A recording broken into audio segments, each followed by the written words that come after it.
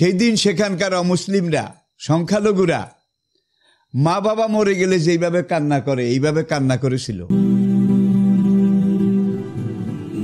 Islamic Voice. Follow Islam as your lifestyle. Medina ইসলামী রাষ্ট্র এটার দিকে তাকান মদিনা ইসলামী রাষ্ট্রে অমুসলিম প্রতিবেশী ছিল ইহুদিরা তিন তিনবার গাদ্দারি করে মদিনা সনদের বিপরীত ষড়যন্ত্র যখন করেছিল, তখন তাদের উপরে অ্যাকশন নেওয়া হয়েছিল।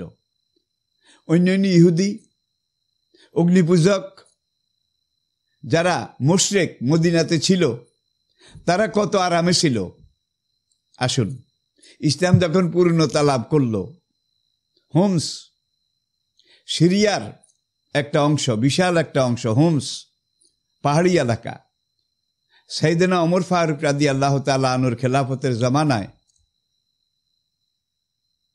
সেনাপতি সাহাদেবনে আবু আক্কাস এবং আবু ইবনুল জার্রাহ রাদি আল্লাহ আনহুমা, তারা রোমানদের সাথে এই ফ্রন্টগুলোতে যুদ্ধের নেতৃত্ব, জেহাদের নেতৃত্ব দিচ্ছিলেন। হোমস এলাকাটা পুরো অমুসলিমদের ছিল। মুসলমানরা তাদের রোমান সীমান্ত, যেটা মুসলমানদের করাতে এসেছে, এটাকে পারফেক্ট করার জন্যে, বাধাবন্ধনহীন করার জন্যে, নিরাপত্তার খাতিরে ওই হোমস এলাকায় যারা অমুসলিম, তাদের এলাকাটা দখল করে। সেখানে যারা মুসলমান হয়েছিল, তাদের উপরে জিজিয়া কর, নিরাপত্তা কর। এটা প্রযোজ্য করে ঘোষণা দিলেন অমুসলিমদের জন্যে।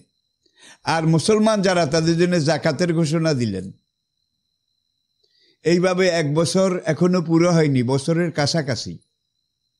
মদিনা থেকে সেনাপতির কাছে হজরত ওমরের চিঠি আসলো যে আমাদের রাষ্ট্রসীমা অনেক বড় হয়ে গেছে। হোমস এলাকাটাও একটা বিশাল এলাকা।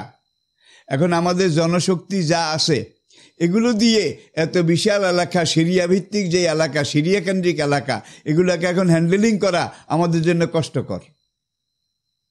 সুতরাং তোমরা একটা কাজ করো।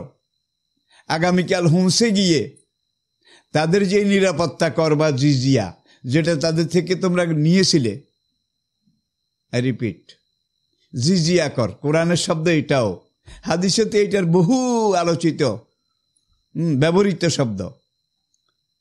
এখন তোমরা তাদের জিজিয়া করটা আগে ফিরিয়ে দাও, জিজিয়া কর। এরপরে তাদেরকে বলো যে মদিনা সেন্ট্রাল গভর্নমেন্টের নির্দেশে আমরা প্রায় এক বছর তোমাদেরকে আমাদের শাসনের আওতা আওতার ভিতরে রেখেছিলাম। এখন তোমরা তোমাদের আগের অবস্থায় ফিরে যাও। এই নাও তোমার জিজিয়া কর, এই নাও তোমার জিজিয়া কর। আর এটার যিনি খাজেন ছিলেন, প্রধান ছিলেন, সাহেবে সার হজরত হোজাইফাতুল ইয়ামান রাদি আল্লাহ তালানহু তিনি যখন এক দুইজন সঙ্গী নিয়ে হোমসের পুরো এলাকা অমুসলিমদের ঘরে ঘরে গিয়ে তাদের জিজিয়া কর ফেরত দিচ্ছিলেন। আর বলছিলেন, তোমাদের এলাকা আমরা ছেড়ে যাচ্ছি। আমাদের কেন্দ্রের নির্দেশে ইতিহাস সাক্ষী। আপনারা দেখুন সেই দিন সেখানকার অমুসলিমরা, সংখ্যালঘুরা মা বাবা মরে গেলে যেইভাবে কান্না করে, এইভাবে কান্না করেছিল। আপনারা চলে যাবেন। আপনারা আসার পর থেকে আজকে প্রায় এক বছর আমরা কত সুখী ছিলাম। কত শান্তিতে ছিলাম, কত নিরাপদ ছিলাম।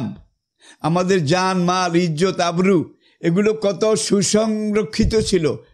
এগুলোর উপরে কেউ হস্তক্ষেপ দূরের কথা একটা কথাও বলেনি। আপনারা চলে যাচ্ছেন, আবার কবে আসবেন, আমাদেরকে বলে যান। আপনারা যেই শান্তি, নিরাপত্তা আমাদেরকে দিয়েছেন, এর আগে কোনো শাসক, রোমান শাসক সুপার পাওয়ারের একটা, কিন্তু আমাদেরকে এমন নিরাপত্তা দিতে পারেনি। এটা ছিল ইসলামী শাসন। এটা ছিল ইসলামী রাষ্ট্রে, ইসলামী প্রজাতন্ত্রে। রাজ্য শাসন এবং প্রজা পালন বা এইভাবে খাজনা, জিজিয়া কর। কোনো গভর্নমেন্ট কোনো কর্তৃপক্ষ এটা নেওয়ার পরে আবার বোধহয় ফিরিয়ে দেয়। এমন একটা ইতিহাস যদি আপনাদের কারও কাছে থাকে, আপনারা পেশ করুন। আমি চ্যালেঞ্জ ছুড়ে দিচ্ছি। কিন্তু ইসলাম। This is Islam this is perfect this is full আকমাল দিন তো আলাইকুম এখানে কামেল বলেননি, আল্লাহ তাকমিলও বলেননি, আকমাল। ইসমে তাফজিল। তোমাদের জন্য তোমাদের দিনকে, জীবন ব্যবস্থাকে আমি আল্লাহ আজকে কানায় কানায় ভরপুর করে দিয়েছি, আকমাল তো। টৈটুম্বুর ভরপুর করে দিয়েছি। তোমাদের এই ইসলামী জীবন ব্যবস্থার মধ্যে কোনোখানে এক বিন্দু ঘাটতি? এটা নেই, রাখিনি। ওরা দিত লাকামুল ইসলাম আদিনা আবার বলছি, কোরআনে যা বলা আছে, নবীজির সিরতে তা করা আছে। আর নবীজির এই যে সিরত, নবীজির জীবন, আল্লাহ নিজে সার্টিফাই করছেন ইন্নাকালা আলা খুলুকি নাজিম লাকাদ কান লাকুম ফি রাসুল ইল্লাহে ওসোয়াতন হাসানা। মা তা কোমর রাসুল ও ফাকুজুহু অমা নাহা কুম আনহু ফান্তাহু প্রিয় দিনী ভাইরা আসুন আমরা আবার ইতিহাসের সেই দিকে একটা নজর দেওয়ার চেষ্টা করি। আমরা জানি, কাল পরম্পরায়, সময় পরম্পরায়, দুনিয়াতে কত শাসক, কত যুদ্ধ, কত জয়, বিজয়, পরাজয়ের ইতিহাস আমরা দেখেছি। মক্কা বিজয়ের দিকে একটু তাকান। আল্লাহ নবী তার সাহাবাই কেরামদেরকে নিয়ে। যখন মক্কায় ঢুকলেন, এখানে আবার ওয়ার স্ট্র্যাটেজি, রণকৌশল। মক্কা থেকে তিরিশ কিলোমিটার দূরে জিরানা জিরানা মদিনার দিকে, উত্তর দিকে, এখানে এসে নবী বললেন, দুপুরের পর হয়েছে যে আমরা আজকে রাতের জন্য মক্কায় ঢুকবো না, তোমরা এখানে থামো। সাহাবাদের কেউ কেউ বললেন, ওই তো মক্কা, দেখা যায়। অল্পের জন্য আর এখানে কেন রাত্রি যাপন করব? প্রবাস করব? সামনের দিকে গেলে ভালো হয় না? নবীজি বললেন হ্যাঁ সামনের দিকে যাওয়ার জন্যই তো এসেছি।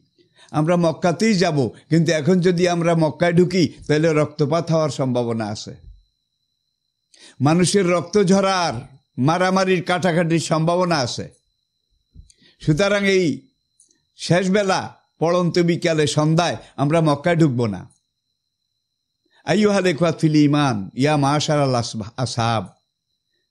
তোমরা সবাই একটা কাজ করো, এই যে জিরানা পুরা পাহাড়ি অঞ্চল, টিলা টক্কর, তোমরা পাহাড়ের টিলা টক্করে উপত্যকায়, অধিত্যাকায়, এই পাহাড়ের উপরে ডালে ডালে এখানে একটু ছড়িয়ে ছিটিয়ে পুরা পাহাড়ি এলাকার মধ্যে তোমরা ছড়িয়ে ছিটিয়ে থাকো।